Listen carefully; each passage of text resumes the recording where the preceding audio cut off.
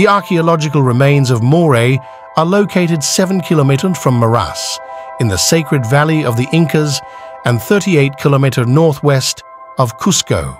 What was Moray and what is it for? What function did it serve?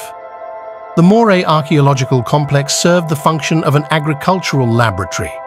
Its stage has circular floors, as if they were an amphitheater inside a hole.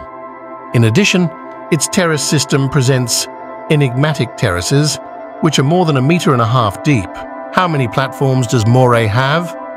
The 12 terraces that make up the best preserved group, called Qechuyoq, which has an approximate depth of 150 meters, are divided into three groups of four platforms that have different temperatures and characteristics.